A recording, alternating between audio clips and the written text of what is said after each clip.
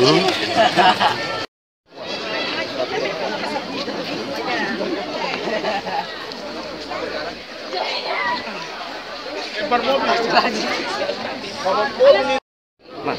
lu terakhir kamu mas?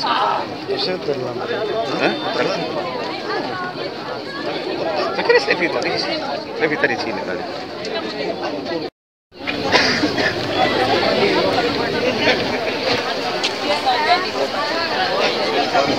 tadi.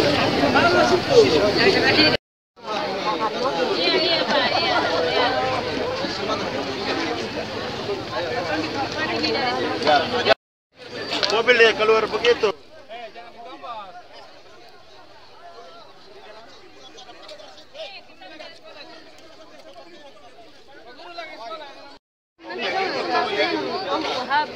Oh, tidak apa-apa.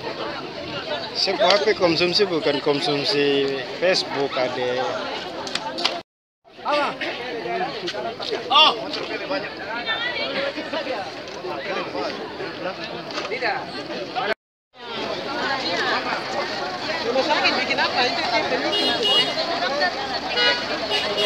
Tolong ibu-ibu minum dulu, ibu-ibu, ibu, Oh, kesempatan minum dulu.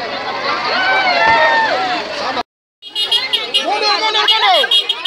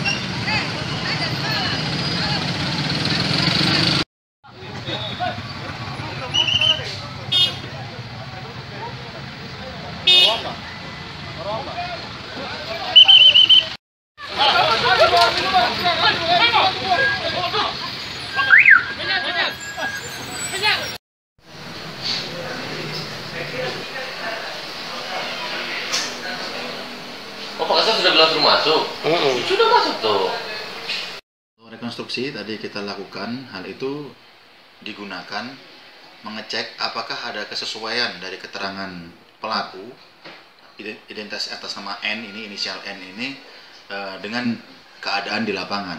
Sehingga kita cocokkan eh, apakah hal tersebut sudah sesuai.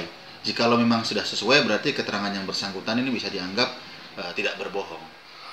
Hal itu kita lakukan agar kita juga eh, paham tentang keadaan situasi yang terjadi saat itu. Kita makanya rekonstruksi. Tujuannya mengulang kembali reka adegan apa yang terjadi pada malam itu. Ya, apakah memang dari keterangan-keterangan diberikan itu sudah cocok? Nah, alhamdulillah dari tadi kita lakukan reka adegan tidak ada yang meleset dari Ah. apa yang disampaikan oleh tersangka N. Apa ada penambahan tersangka, Pak? untuk sampai saat ini belum ada.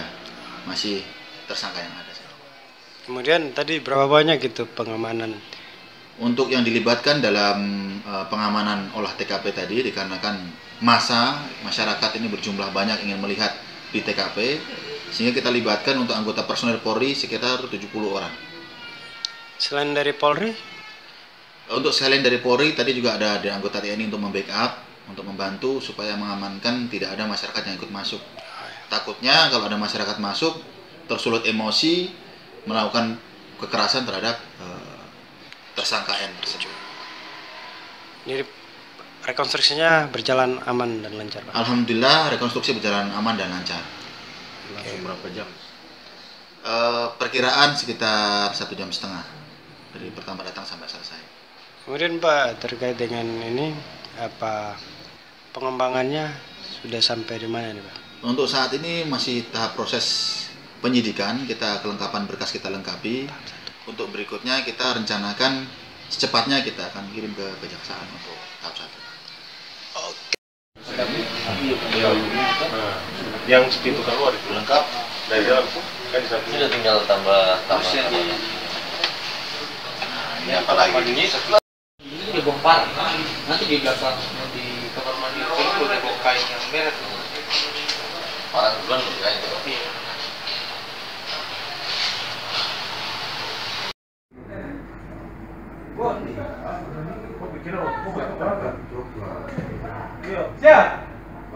loh kayak itu. Iya.